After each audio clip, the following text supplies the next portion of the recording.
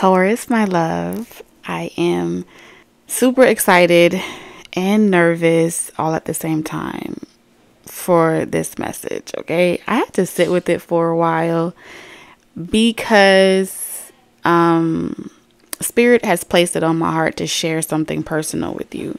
So I hope that whoever this message is for that you're able to extract whatever message or confirmation that or wisdom from my own personal story that you'll be able to utilize in your personal lives. Um, this message isn't going to resonate for every single Taurus, um, as all of us are on different paths or different parts of our journey, right? But who it will resonate for is someone that has had a very hard, let's say, the past three years for you. It's been very difficult. Um, either you have been traveling to avoid going back home, either you have been either you're going back home or you've been traveling a lot and you're about to return home. Um, and when I say home, like let's say for example, you're in the military, right? You may travel overseas, um, be on active duty or something to that degree, and now you're returning back to your home base or wherever that base is for you. For others of you, you may have been born in another country and you are returning back to those lands, right? Or you are already in that home country and you're wanting to branch out and go back to another place that you call home. It's an overall energy of overcoming some type of restriction, overcoming some type of blockage, and giving yourself the freedom to not care what anyone else thinks. Um, not try to force an opportunity or make something work, but really just to kind of give it back up to the divine and allow forward movement. Whatever is to come of the situation, you having that walking with this type of reassurance that you're not alone, right? You're not worthless, you're not poor, you're not a castaway, you are significant, you're worth more than riches could ever provide. Um, so, for many reasons, it feels as if, how can I explain it? Um, you're being guided down a specific path, right? And this is a hidden path that's being illuminated for you. It's like a third choice, right? For some of you, pride may be keeping you where you are right now due to what would people say if I fail at that relationship? What would they say if I fail at that career or I fail to commit to something that I put my mind to? For others of you, there's what if I missed my opportunity? What if I what if I stuck it out a little bit longer and I got that raise or that promotion or I stuck it out a little bit longer and that person came back around? What happens if I completely close those two voices and I surrender this entire situation or this entire worry over to a higher power? I feel like that path energetically is being illuminated to you, and it's going to be a path that only you will see because it's going to be revealed in the spirit. It's going to be revealed like in your tunnel vision. It's going to be tied closely to your focus, right? And when I say your focus, what, where, or what is your heart guiding you to do? Okay, the song that came up for you, Taurus, was I think it's called Listen to Your Heart. When it's calling for you, listen to your heart. Yeah, so that song, Listen to Your Heart, is you may want to listen to that lyrics. Like I said, this feels very emotional. It felt like um like just being put out there to not know, but being asked to have faith and trust that you'll the the the the right choice is going to manifest to you even if it feels like it's coming at the last minute it's like your heart is going to be guiding you not your mind not your worries not your fears but your heart there's also something about a guide that was assigned to you Mm-hmm. This guide is passing you off to someone physical. Okay. I heard that I'm passing the phone to someone that knows how to do this, or I'm passing the phone to someone that knows how to do this. So the communication that you're going to be receiving is going to be to the next person that can help you and facilitate you along the way. But it does feel like um, this is someone that has no ill intentions towards you. This is someone that would never betray you or hurt you. Um, this is someone that's willing to compromise and grow and stick it out with you. And that's where you're being guided to go. Um, it feels peaceful. It feels like another person in the physical flesh that aspires for the same type of lifestyle or the same type of harmony that you desire for yourself. The intentions is what is calling to each other. That's the energy that I'm picking up on. Um, it feels like to me like how deep the emotions is how much my body is responding to the energy. Like i want to cry but i'm not about to cry. But i feel like um a deceased family member or friend this may also be like a, a close pod or relative um that's not directly related to you, but sometimes guides will come in that have, have had similar journeys as you and they learn from you with with observing how you interact on your 3D plane and then in turn there's some type of karma that's cleared out when those guides from other pods come in and collectively work with the collective consciousness. So it feels like this deceased loved one, family member, whatever, is passing you off or passing you over to someone in the physical flesh that will help you heal further or that will help you um, help guide you further, right? Um, this has to be a guide that you've been communicating with for some time. Um, yeah. So, in the recent past, you would have felt like there's been less and less communication, less desire to tap into the frequency of that loved one, or that loved one is not as loud or as prominent or as active in your life. And over time, it's like um, they're going to be like handing you over to another frequency. It's like a merging and tapping you into the frequency of your true love in the 5D. So it, they're all kind of one, but it's like if you, if you think about nozzles on a volume or on a, I saw nozzles like on a, a switchboard. Okay. So something's being increased. It may be like the bass is being increased.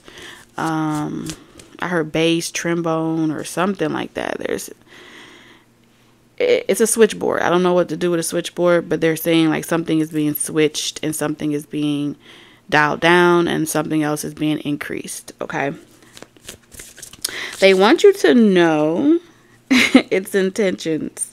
Okay. They want you to know why many of you have been feeling distant to that guide or distant to that loved one that was once very prominent with you.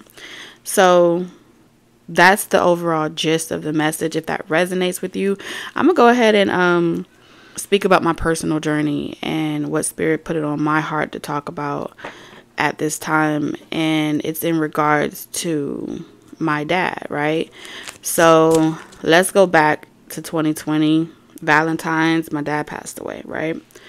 Um but prior to him passing, I had a very estranged relationship with my father. Okay. As a child, I was very disappointed um, with him. He was disappointed with me, and we kind of had this. He was more forgiving than I was. And the crazy part about it is we're both Tauruses. So my mom's a Taurus and so is my dad and I'm a Taurus and we're just one big ass house of Tauruses. Okay. So long story short, um, he was a big disappointment to me as a child. I blamed him for you know, him not being an active father. I resented him for not protecting me and my siblings um, from like pedophiles and narcissists. And really just kind of checking out. I felt like my dad checked out as a father, and he was pretty much majority of his life he was in the military, and then he got honorably discharged, and so he was home. So they have 12 kids together um, I'm the eighth child. So from my perspective, I got the see I got to see the side of him that was really like over it. He was over being here on earth. He was, you know, over the role or responsibility that I felt like he needed to perform. Um, I also was angry with my parents for living this double life, pretending to be happy, right? Trying to stay together being like I felt like it was two two lifestyles. There was one that the rest of the world saw and then there was one that we lived at home and it was very unhealthy. So I had a lot of built up resentment towards my dad most especially cuz I feel like because my mom like even though they were in a relationship until they got divorced, I felt like my mom was still a single parent even though they were in the same house. Like my dad I felt like he wasn't doing anything. So that played a big role in my perspective of a healthy relationship. I looked for love in all the wrong places due to my resentment that I have for my father. That resentment that I held towards him kind of set up so many other so many other paths like they were being created as this experience was happening, right? And the love and affection that I felt like I didn't receive from him resulted in me sealing my own fate. Right? Sealing my own fate, my own karma. It was almost like the fate of my resentment to him was assuring that I would have to learn a hard lesson about resentment, regret, and things like that. It's still my fate. And as a developing young girl, I was very clingy, needy. Um, and I felt empty and I wanted love and I wanted it really bad. And I was willing to go after it, kind of like chase after it a little bit. And yeah, the way I chose to perceive my circumstances kind of assured that I would experience many, many years of learning what love is genuinely, like self love, really understanding what that means at its core. And long story short, I stayed away for years. Um, I rarely visit my father or my mother. Um, I found myself in a very toxic karmic relationship where there were a lot of pride around what my family would say right my siblings they them being able to laugh at me because i took a very prideful stance like when my dad was alive you know, I was that child that was like, you need to get up, you need to do this, you need to be more involved, you need to, you know, be a father. Like I was always on his ass. I was always trying to tell him what to do. I was Miss Know It All, right? And you know, he just brushed it off. He was like, "Girl, sit down." Like so, he always had that attitude to me of like, he just brushed me off. He never really took anything personal. Um, and I always appreciated that about him. But long story short, like I was saying, the pride of what my siblings would say that for them to be, because they used to always say to me, um, as much as you get on him, you're going to end up being just like that or something like that. So the pride of other people being able to say, you're going to be in a relationship just like that kept me in the relationship, right? Or the pride of, of people telling me it wasn't going to work kept me in the relationship. So there was multiple layers to what I perceived love to be. So I gave myself the illusion that I was in love by saying just staying together was love, right? So I didn't understand that that need to be with each other was codependent in nature. Okay, I hope you follow me when I'm saying that. Um, I didn't want to be a failure. The harder that I tried to keep the relationship together, the more it fell apart. the more I tried to paint the perfect picture, the more he stepped out. The more I tried to control the environment and change myself to, you know, fit whatever narrative that he felt was the excuse as to why he wasn't able to show up in the relationship or he wasn't able to to express that same level of love. I made excuses with him, right? So and then I justified it by saying I didn't want to lose an opportunity or I saw the potential in him and I wanted him to wanted to see that come into fruition. So I became more invested and more in love with the idea of love than actually being in love because I didn't know what that looked like. In a nutshell, the more I invested in filling his voids, the more drained I became and the more insecure I ended up being at the end of our relationship. So the hardest thing for me to do in any any type of tie like this was for me to admit to myself that I wasn't in love. When I listened to my heart and I actually paid attention, the rebuttals weren't weren't as loud as what my heart wanted. My heart wanted to be anywhere but there. My heart didn't want to be there. So at the time it wasn't even trying to get to another person. It was like my heart wants to be free. My heart wants to see. I know this isn't the end for me. I know there's better out there. Um, but i knew on a genuine level i didn't truly love him. And i'm speaking from myself because it's a accountability thing. Um, and i was making myself love him by showing up for the connection and compromising just to keep the peace. So this energy of um, keeping the peace, even though it's unhealthy, keeping the peace, even though it's for the sake of the kids, the money, or whatever the whatever the needs are, is the unhealthy part. And I, I was making it harder for myself because I was telling myself um, that I didn't want to be like my parents, right? And I wanted my children to have a different experience than the one that I had. And all of it was illusions. All of it was illusions, rose colored glasses. Um, so it wasn't until my father passed away. So when my father passed away, that's when my gifts even activated. That's when I saw him everywhere. I saw my father everywhere. I saw signs everywhere. I could actually feel my father's presence everywhere I went. And prior to his death, we didn't really have a relationship. Like I said, I stayed away. And there was times where I did come around him before he transitioned. And it was like I was called back towards him and I didn't know why, but uh, really my daughter kind of brought us back together because I was pregnant and I wanted her to know her grandfather, right?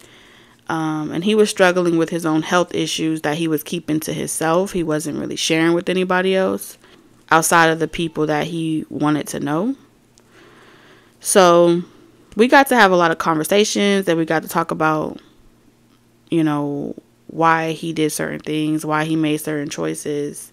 And I was at a better, I was at a more mature phase in my life to be able to receive his truth and his autonomy, right?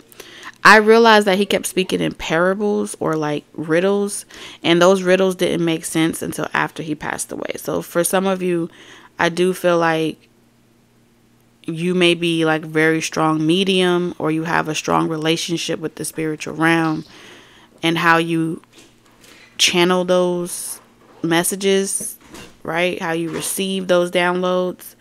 It's very intense. I will say that one the last time that I saw my father come to me in a dream, um it was one night he was telling me that he was preparing me for something and he couldn't tell me everything, but that he wasn't going to be helping me anymore. That I pretty much had healed enough to be able to, to learn from someone else. So now I felt like my inner child got some of the attention that it needed and I was ascending to a position in my life where now I'm healing my adolescence, um, I'm healing my young adult phase of existence. So, come to find out, y'all, the bridge that connected me to my father was also how I developed my mediumship gifts, right? So he told me that he was going to connect me with those on the other side and he would translate it for me so I would feel comfortable. So because I recognized his voice, I didn't like speaking to anyone else. Um, that was an unfamiliar spirit or unfamiliar tone of voice, right? it's funny thinking about it looking back on it now and I'm I know spirit isn't going to have me say all of this for no reason. So just bear with me, okay? Um so that relationship that I had with him in death it fulfilled some type of karma, it fulfilled some type of experience that he still owed me and I still owed him. It also was very healing and forgiving at the same time. So in 2020, I would say that's the last time, 2021 was the last time that I worked with my father's energy. Um, I didn't feel his I didn't feel his uh wheelchair anymore. I didn't hear his sounds. The the messages stopped. And that's kind of like how I was able to to recognize the transition between moving spirits or shifting energy. So he kind of was teaching me at the same time.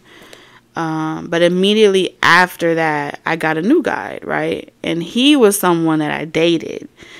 When I got this new guide, he appeared to me. First of all, I had absolutely no idea that he passed away. Uh, he had a little situationship with um, someone else he was dealing with long story short, with that, I started to receive messages of that familiar voice, right?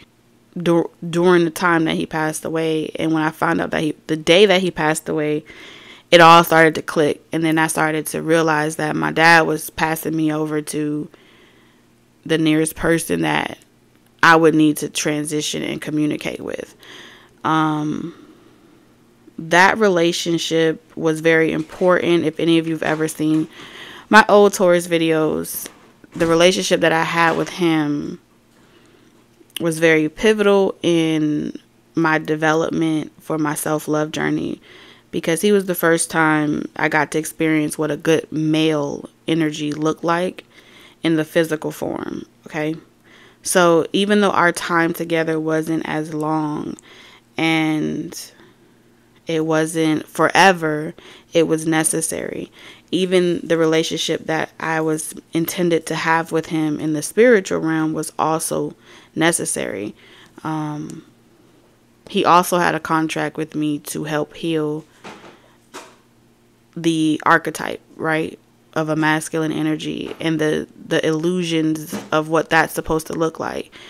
All of those were broken down due to that relationship or that connection with his him in the physical and in the spirit.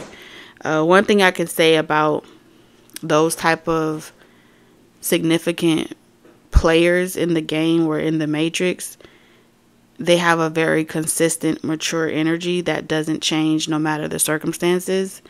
And it's really hard to let that energy go on a physical level because they set the bar so high. You feel me? So he kind of helped anchor in my high standards.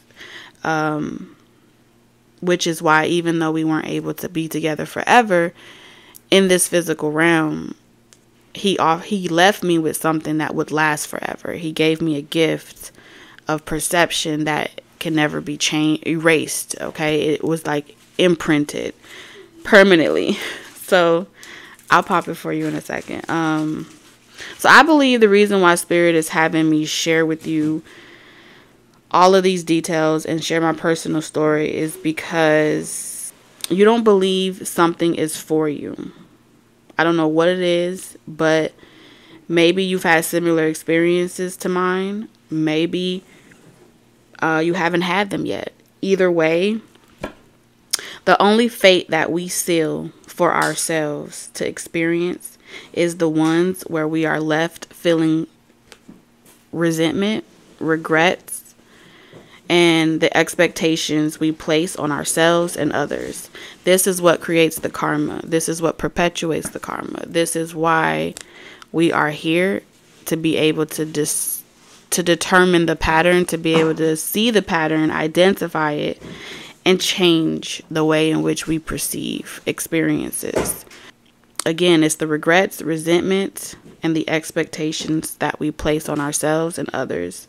This is how we get locked into that grid of karma, of repeating the same things of our forefathers and things like that.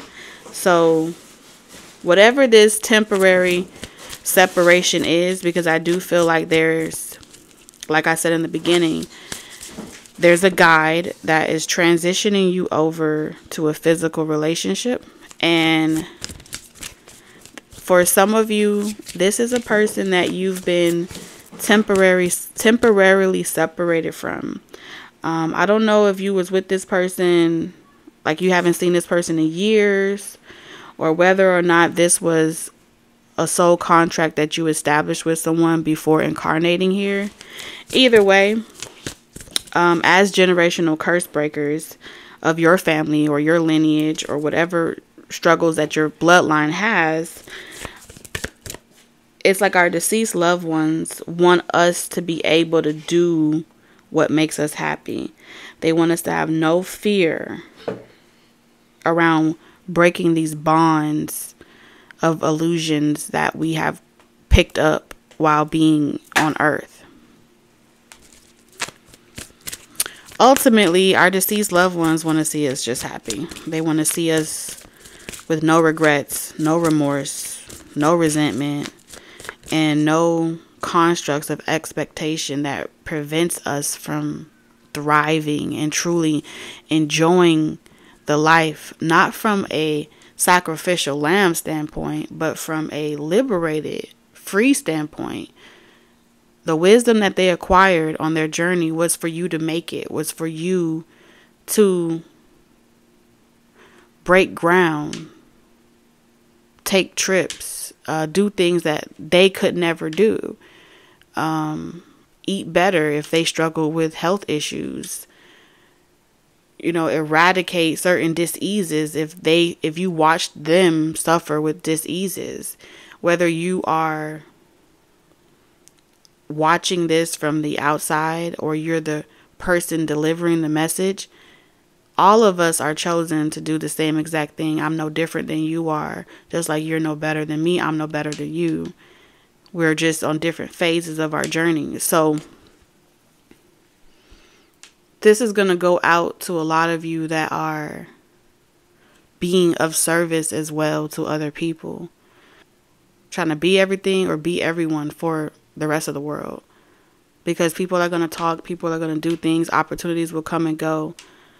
But when you reach that agreement within yourself, that the life and reality that you want for yourself supersedes anything anyone else has to say about you or to you, it's another type of freedom. And I feel like that's what this message is really about.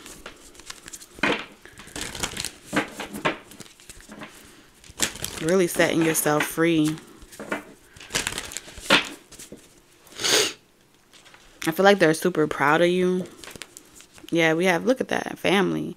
They're super proud of you, how far you've come. It's like they're on the other side cheering y'all on. And it's no, it's no coincidence, right? This is exactly why we're going into Scorpio season. And this is where everything that we weren't able to say or do, they come back and they talk to us and they tell us their truth every single time. They want to see you win. They want to see you success. See you successful at whatever endeavors you want for yourself. They want to see you optimistic. But I really feel like someone is being presented with the opportunity, but they don't want to do it. So I don't know if this is you or someone that you're connected to, but one of you guys um, maybe still holding on to a karmic relationship. And like I said, I gave you my whole story. We all have played the role of karmic at some point on our journey.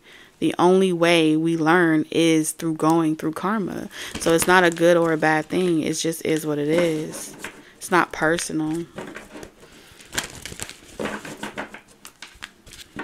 And I feel like that's the, the higher self perspective.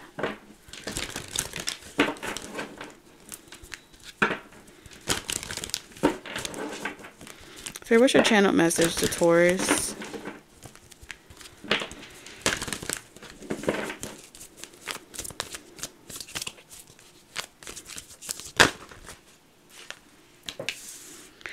So we got the vast universe in reverse. Possibility. Someone is giving up all hope. I loved and I've lost. Hmm. I pick up this energy of like not wanting to be single or being afraid of going back to the past.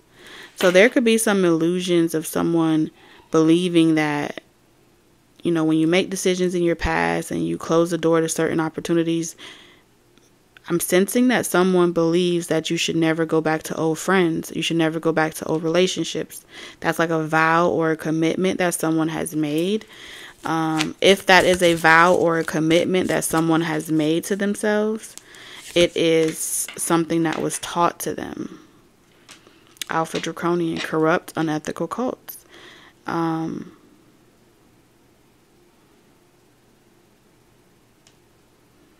Damn. I wasn't expecting to see that.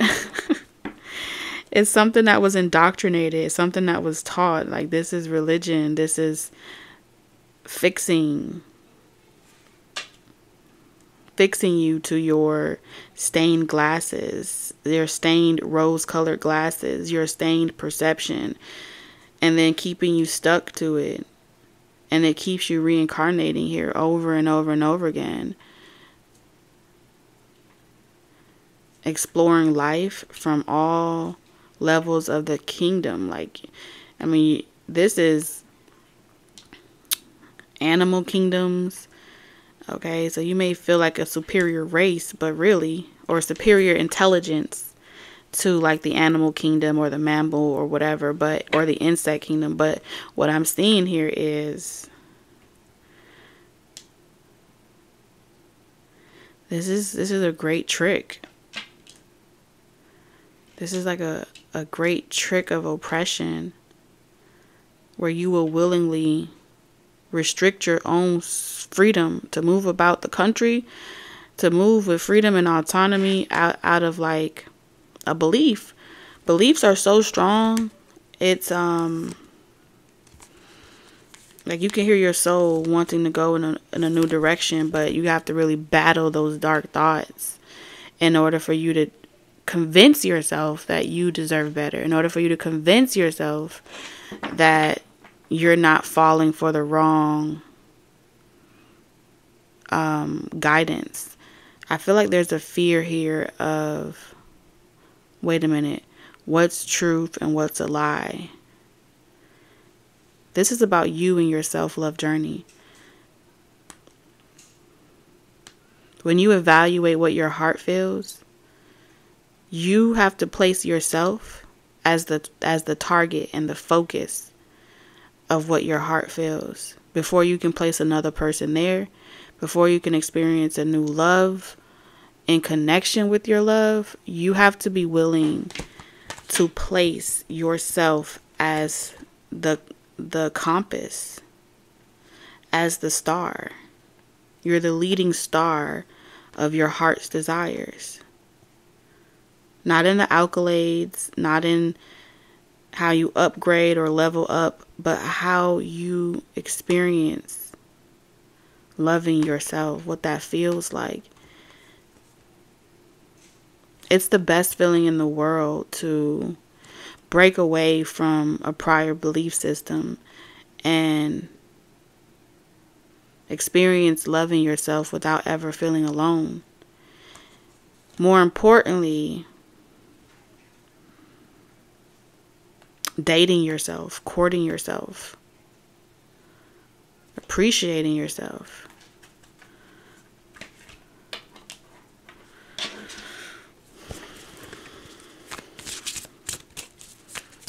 This is definitely, um, look at that. There's like two paths here. There's a spiritual path. Because listen, the sage, be devoted and committed this is like you have no one standing over you forcing you to make these decisions. right? The sage goes on that spiritual pilgrimage on their own accord. They're choosing to be devoted to themselves. They're choosing to be committed to themselves. It does not need a book or a doctrine. If you see in this picture, the sage is writing his own message to himself. He's writing his own story with a peacock. So he's living it freely without worrying about who thinks a certain way of him. And he's writing on a on a leaf for crying out loud. Okay? So the only confirmation that you need is going to be from the way you desire to be loved, treated. This energy here feels like a well-kept person, right? Um cultivating community, cult- cultivating religions, cultivating um, certain paradigms. That's that's that empire, emperor energy of being like that alpha female, alpha male, whatever it is, the hierarchy, the paradigm. Yeah, you will fall down.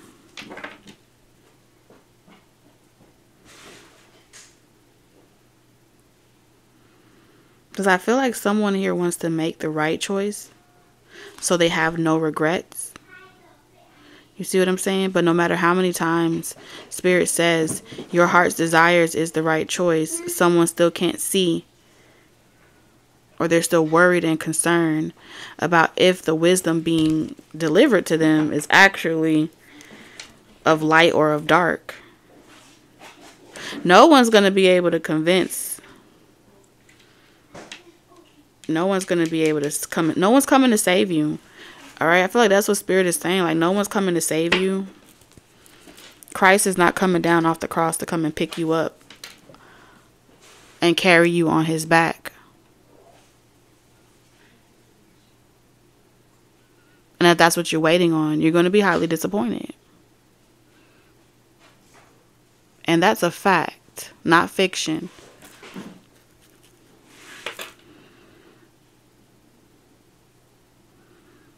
right? If we want to go go on that narrative of Christ knowing that he would be sacrificed, who told him that he would be sacrificed? You you understand? If he was that doubtful of his own journey to the point where one, he was told that he would be sacrificed. Two, it actually happened and he has no regrets about it. Do you really think that he was sitting around wondering and doubting in panic and worry about his death? No, he couldn't have because he already knew he was going to die. He already knew how it was going to unfold. But think about those paths. If a person is delivering a message to you, or you're receiving your own intuitive nudges that something is going to become of your fate, or something is going to become of your destiny, um, and then you're looking back at it like, wait, wait a minute. You telling me I'm supposed to die? I didn't sign up for this so I could die. Devoted and committed means that what you're calling is for isn't another person telling you to do it. It's when you're the author, when your soul is the person that's writing the blueprint, when you take destiny in your hands, you set yourself free from fate. I don't know who I'm speaking to today. But you are not fated to suffer unless you choose to suffer. You are not fated to have any of the experiences of whatever doctrines was given to you, whatever perceptions were given to you, unless you choose to agree with them. Right? What was being manifested right, as this universal consciousness, is your awareness that you are not a victim, your awareness that you're going to have no one to blame. That's the 144. It's your awareness, that activation of your DNA. That I don't I want to die with no regrets. I want to cross over with no resentment. A journey well lived with a light heart is the only journey worth taking. So if you have a heavy heart to commit to certain things you don't agree with, understand you're sealing your own fate and your own karma. No matter how many times you come back and do it over and over again. But in this lifetime, what Christ promised was that Christ was going to make you aware that you were made in the image of God and that that consciousness was going to activate within you and no program, no cult, no religion would be able to remove that awareness from within you. Free will.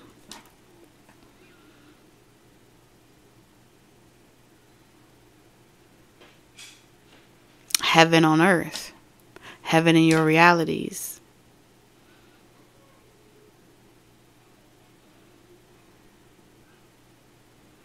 The concept of waiting to die to experience heaven is also an illusion.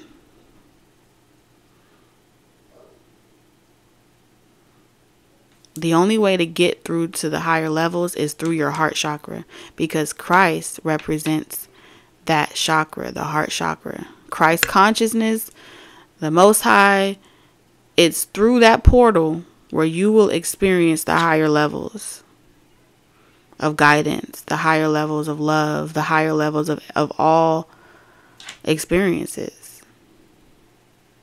So if you've ever watched the movie Limitless, um, not Limitless, I think it's called Time with Justin Timberlake and some other girl, I can't remember her name. Think of this aspect as you have a clock and there's like your wrist has a set amount of time on it. It's your lifespan, right? In certain zones of consciousness, the lifespans are shorter, right? The more the more you acquire, the more time you get, right? So pretty much in the lower level consciousness or they call them the zones that they had people in, they were they were so busy working and trying to just pay for time um they were dying young, right? They were overworked, overburdened, and fear, worry kept them from even seeing that they were on so much borrowed time. I mean, like literally, the mom and the son were sharing time. They were scrapping for scraps. Um, and then one day, someone from that community, right? Let's call it a community, came from his rich ass lifestyle, saw something in that boy as far as his personality. Mind you, that person had lived so many lifetimes and had been afforded so many different riches and abundance and experience. But he saw something in Justin Timberlake and he gave him the gift of time. He pretty much gave him everything that was supposed to be a secret he should have never had that much access to that much time. So they sent the bounty out for him. The time police. and I feel like this is what I'm seeing here. You're a traveler, you're a time traveler. And you have certain uh cults, you have certain covens, and you have certain um, establishments that feel like you shouldn't have access to this much fucking time. You shouldn't have free reign in the universe. So they want to deny you time, they want to deny you access. Right? But it's your right to access this divine consciousness, it's your right to move freely. So, of course, that energy is going to want to put you back in your stables and it's going to want to put you back into a state of an illusion and so you're going to feel conflicted between your mind and your heart, the karmic and your true love. The true love is a beacon of light because that true love is a reflection of you. So it is you, they are you, you are him, you are her, she is you, and vice versa. But if you're unable to see that a separation is is only real in in a realm where time is the currency then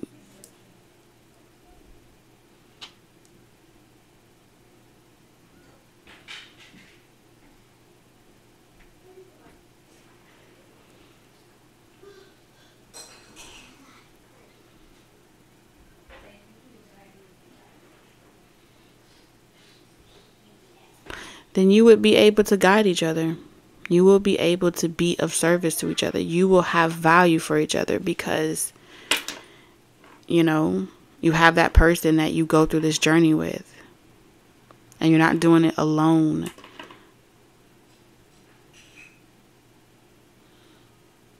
You feel me? In that movie, there was I think she came to he came to a party cuz first of all, he had to like break barriers just to even be in that room or at that party or whatever. And um they tried to offer him a plea. You know what I'm saying? They tried to offer him a deal. And the deal that they were offering Justin Timberlake was, "Hey, listen, you know, we'll let you have all that time, but you got to indoctrinate to our concepts. You got to indoctrinate to our beliefs. You're going to have to sell yourself out and and sell out those people from that community that you came from because they can't go with you. It's not for everybody. It's only for the elite. It's only for a select group of people. So here you are. They're negotiating with you right? Let me let me wrap up a pretty ass illusion for you. Let me give you a nice simulation. Tell me what you want and I'll create that lifestyle for you and you can live peacefully in that timeline. So they're waiting on you on your decision and they're trying to convince you that you won't be able to move about the universe freely and continue traveling and get so you know have so much freedom if you don't make a choice if you don't choose um choose a religion choose a coven choose a group choose a this. But your ancestors are saying here that saying here to me that you were never supposed to have to choose so you don't have to negotiate with terrorists. You feel me? They already made those sacrifices for you. You're a sovereign being.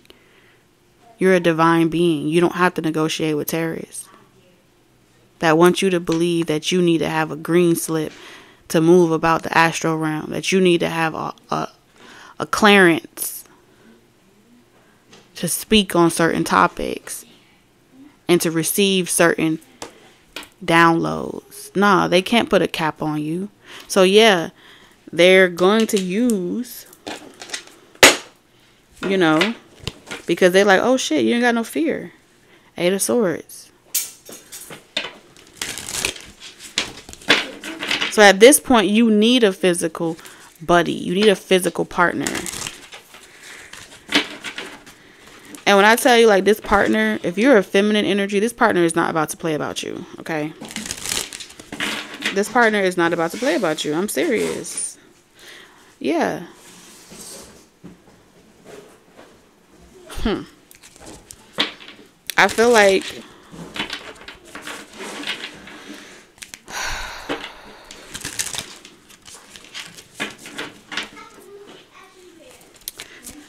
I feel like one of you may be live a more, a more devoted life. You know what I'm saying? More quiet, peaceful. Like you you enjoy being alone or having your privacy. the other person may be very um, on voyages. They like to travel. They like to, or they have to travel for work or whatever. Um, but you guys are going to appreciate each other. Yeah. Clarify why is the vast universe in why is the vast universe in reverse? So, right about now, um, this is like top priority. I don't know why it is because something's coming up very soon with these cults, covens, and shit. They're about to try some type of attack. I don't know what their plans are. We'll look inside of the Stay Nested section to see exactly what the hell these corrupt people are planning now. But for the most part, um, this time is so important for you guys to integrate with this partner uh, because you need to be able to maneuver in the spiritual realm. So, whatever tricks that they have under their sleeve doesn't take you out. Okay?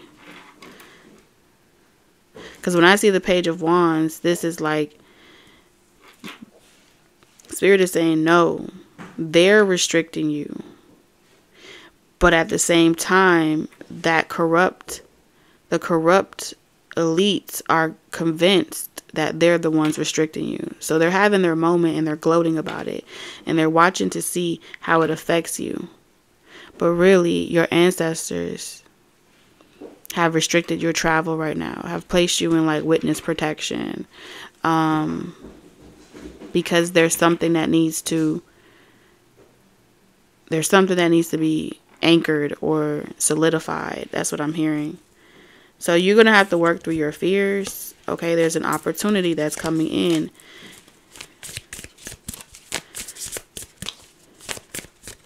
And I'm hearing like, ugh. So someone could be like, ugh, I don't know if I want to do this, you know. But I feel as if your ancestors is going to give you the truth. There's nothing that you won't be able to see. I told you they're going to give you the truth. Ace of Swords. There's nothing that you won't be able to see. You're going to see it long before before anything. You're going to see this attack long before it happens. Yeah.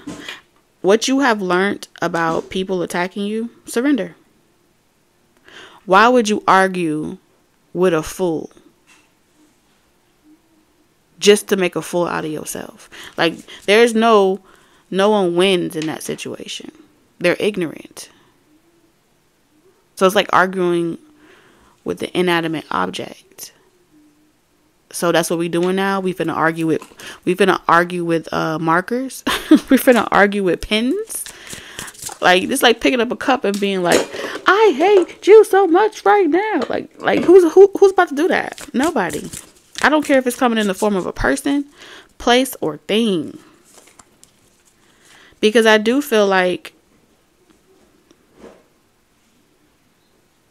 someone for you and your person feels very hopeless.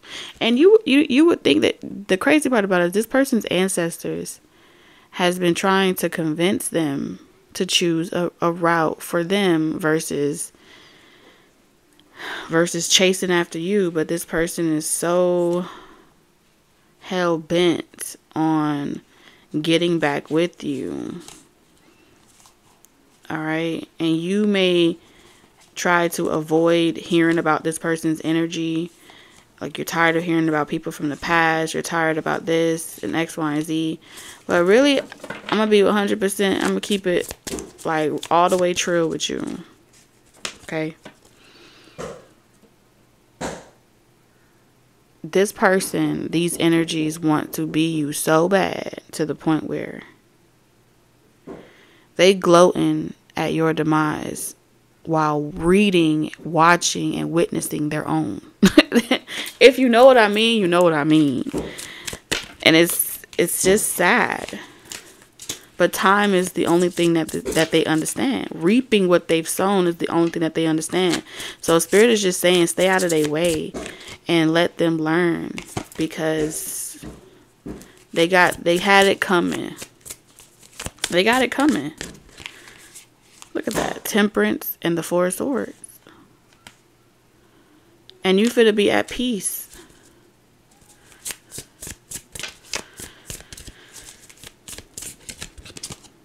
Someone refused to let you go, but they don't have no choice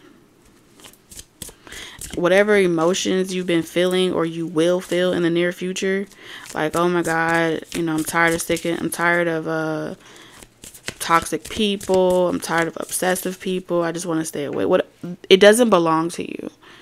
All right, whatever emotions that you're you're feeling is a projection of someone else's emotions and set it away because I feel like a lot of it's already being reversed back to sender. Yeah. And they're they are sealing their fates. And it's nothing personal because listen, baby, I have had my share of learning hard lessons, okay? Until I got out of my own way. but I feel like for some of you, this may be, you know, people you tried to work with. There still was a lot of people that was no good in your environment that had to be removed or spirit had to remove you. Whatever is about to happen, it's going to be for your highest and greatest good because